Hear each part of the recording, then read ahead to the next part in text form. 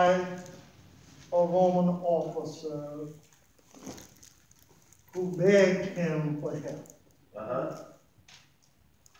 My servant is sick at home in the bed.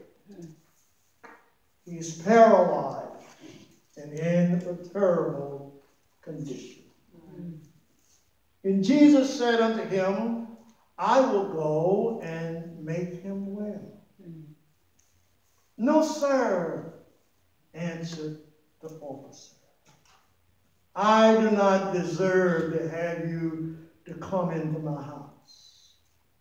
But just say the word, and my servant will be made well. Come on, preacher. Right. For I too am a man of authority with superior officers, and I have soldiers under me.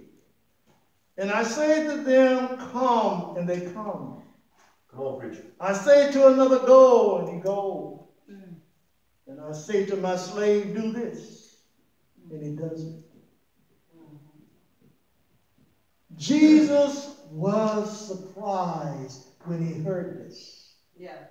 And he said to the people following him, I have never in all of the people of Israel heard such faith as this. Yeah, yeah.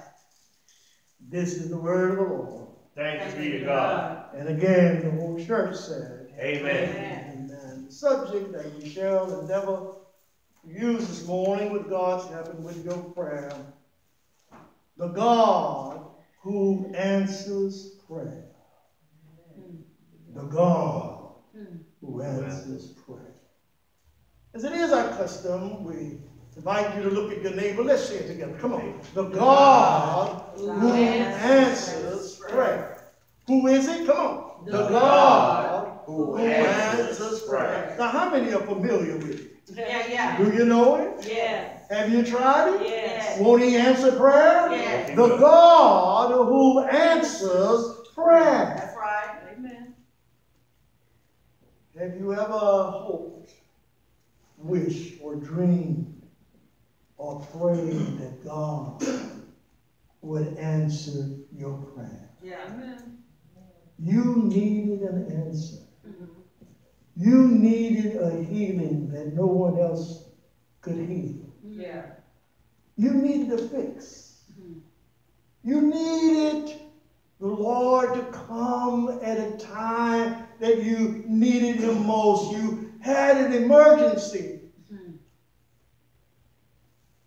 You needed the Lord to come to speak to your heart, Yes. to touch your body. Yes. And In so needing the Lord, you cried out unto him, Lord, here I am. I need your help right now. For if thou withdraw thyself from me, Come on.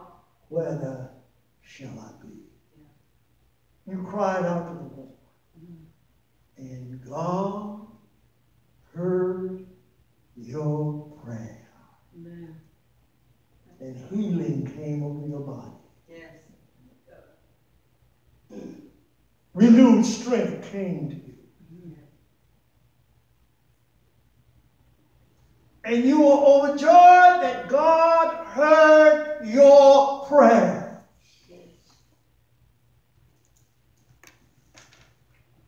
This is what happened to the centurion in our text. His servant was sick. Uh-huh. And on behalf of his servant, he cried out to the Lord for help, and God heard his cry and answered his prayer. Amen. Oh, how refreshing that is. We serve a good God. Amen. We serve a great God. Yes. We serve a God who can do anything but fail. Yes. We serve a God who will answer prayer. Yes. Yes. This centurion, no, he was a high class and high ranking commanding officer in the Roman army. Centurion means leader over 100 men.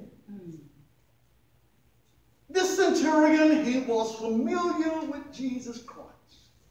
He was a man of faith. He was a man after God's own heart. He was a man who knew how to get in touch with Jesus at a time that he needed him most. Yeah, yeah, yeah. Come He on, was a good man. Yes. I said he was a good man. Come on, preacher. And, and, and, and, and, and so here, this centurion, he was also a Gentile. All right. Amen. You know Jesus was a Jew. And, and it was a time that Jews and Gentiles had no dealing. But when you are crying out for help, Yeah, yeah, yeah. it doesn't matter what race you are. right. If you need help, you just need help. Amen. So here, this centurion, he was too a man of authority, a man of power. But two things about him. He recognized that Jesus Christ also had power and authority. Right, right. Have I got a witness right there? preacher. Amen. He knew he had power. He knew he had authority because he could say to his men, do this, do that, and they would do it. Come, they would come, slay, do this, and he would do it. He had power and he had authority. Right, right. But he had sense enough to recognize that his power, his authority was less than what Jesus had. Come on now. Oh, you ought to hear this one. Come on, preacher. And the fact that he realized that Jesus had more power and authority than he had, Yeah. Jesus equated this You said it. With faith. Yes. Have I got a witness right here? In other words, Jesus said, hey, not only does this man have a power and authority, but he recognized that I have more power than he has. Come on now. That means he's a faithful man. Yeah, yeah. That means he knows something about my father. Yeah. That means he knows what I've done in the past. Come on, preacher. Yeah. See, what I like about it is that Jesus proved Mhm. that he had power. Yes, Yeah. sir. He proved that he had power to heal, Uh-huh. power to forgive, That's right. power to heal the sick, Yeah. power to raise the dead, give sight to the blind, make lame. He had power to deliver. He had power to save. He had power to wipe away our sin, power to create in us clean hearts Yeah. and renew the. right- Jesus had power. Yes, sir. And then Jesus had authority. Mhm. He proved that he had authority over the whole world. That's right. The earth is the Lord, and the fullness thereof, and all the day that comes. That's authority, isn't it? Yes. Amen. And under the name of Jesus, every knee shall bow, every tongue shall confess that Jesus Christ is Lord and Savior. If, you, if that ain't authority, tell me what is authority. Yes, yes. Amen. In other words, it doesn't matter who you are, you got to bow to Jesus. Right. It doesn't matter who you are, you got to confess to Jesus. Yeah. Am I right about it? Right. Amen. You can call heavy Buddha if you want to.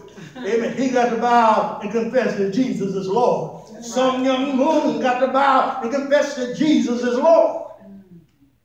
So here, because of his faith, he won a healing blessing for his servant.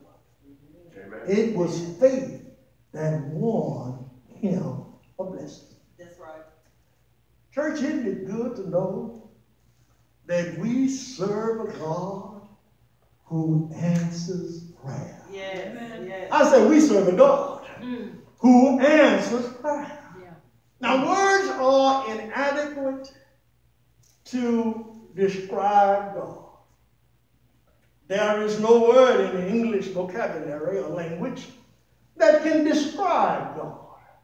We put a lot of adjectives, and all of it's good. He's omnipotent, he's omnipresent, he's immutable, he's existential. Amen. Uh, he's, a, he, he, he, he's, he's a God of gods, King of kings, Lord of lords. He's Alpha and Omega. He's the beginning and the end. All of these are adjectives that describe God, but God is more than that. Come on, preacher. I said, God is more than that. Right. You can come up with a word that can describe who God is. Right. Because he's always bigger than what we can describe. Right. Have I got a witness right Yeah. there? And one thing I like about him, amen, it's good to know here that we can go to him in times of prayer. Yes. How many glad that God is a God who answers prayer? Yeah. Amen. Won't he do it? Amen. Amen. Amen. And see, the good thing is that he may not come Come on. when you want him, but he always on time. Yes, he is. I'm talking about a God who answers prayer. Sometimes the answer is yes, sometimes it's no, Yeah. sometimes it's hold on. Just a little while longer. Yeah. Amen. You're not ready for it right now, but hold on just a little while longer. I'll make everything all right. God answers prayer. Hmm. And those who call on him, Yes, sir. the Lord will answer. Yeah. Have I got a witness? On. Amen. The Bible says that all who call upon the name of the Lord, they shall be saved. That's right. All you got to do is call. Amen. And then those who asked him mm-hmm. shall receive something. Yes, sir. That's what I like about it. Is that right? I don't know what you're asking for today, but whatever it is, amen, you're going to receive what you're asking All for. right. Amen. Isn't that right? And then for those who are seeking this morning, amen, you will find what you're looking for in Jesus Come Christ. on, preacher. He answers those kind of prayers. Is that Yes, right? sir. And for those who are knocking at the door of God's heart, amen, the Lord will allow you to come in. Yeah. Amen, amen, amen. To those who knock, God will answer their prayer. Mm. I don't know about you, but amen. The Lord was knocking on my door one day.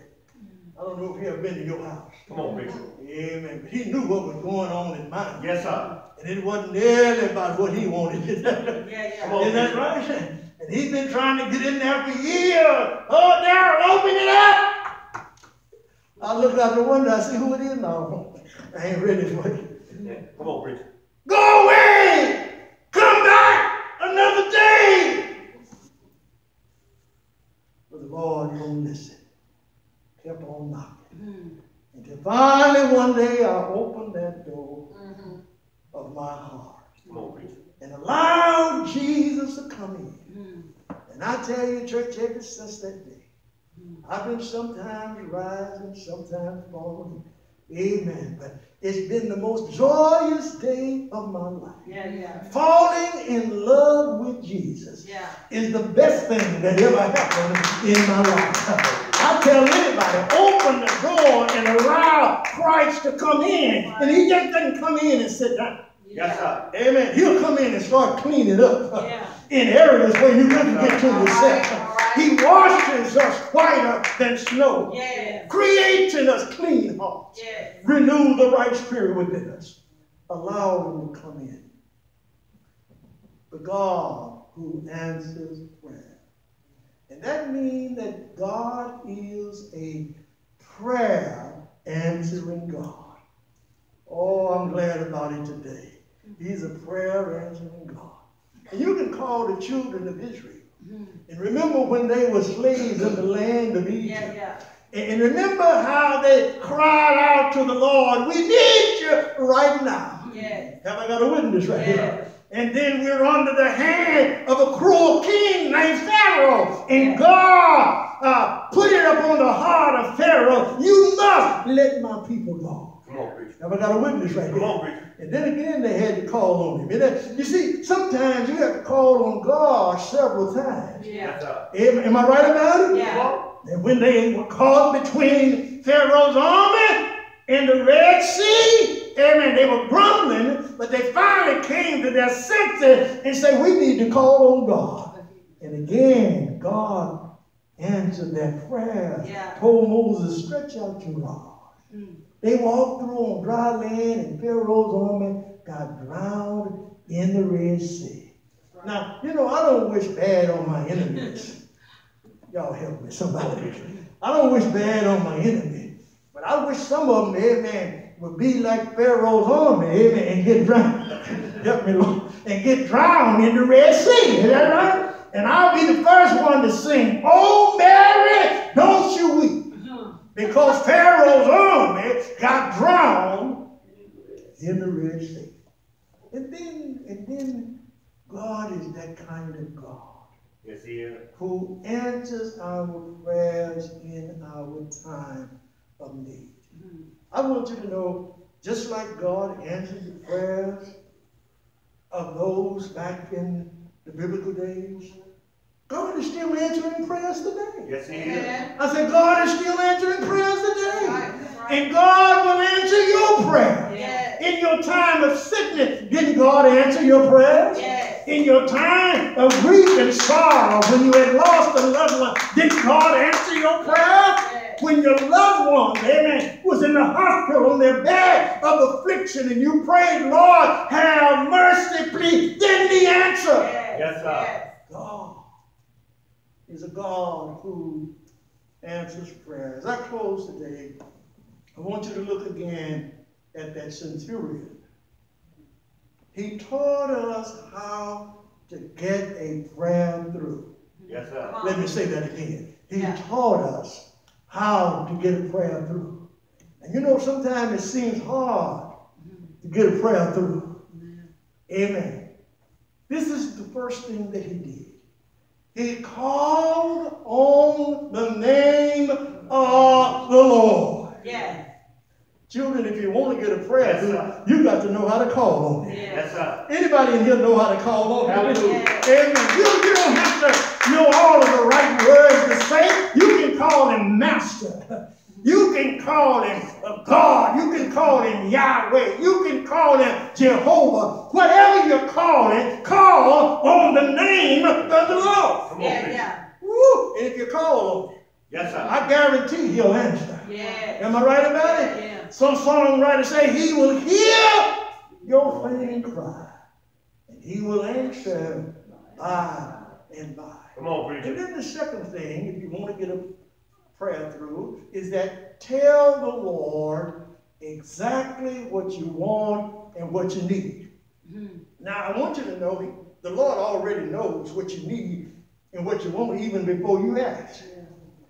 But to tell the Lord what you want and need is for your own sake. Hmm. Am I right about it? Now. Prayer is not for Jesus Christ. Prayer is for one who praying.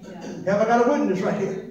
Amen. And, and, and see, you have to ask because Paul told me, Paul said, rejoice in the Lord.